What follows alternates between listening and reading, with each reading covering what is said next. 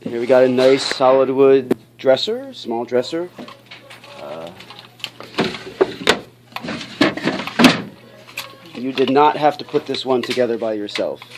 It would come to you like that. Anyway, IKEA bust, but yeah.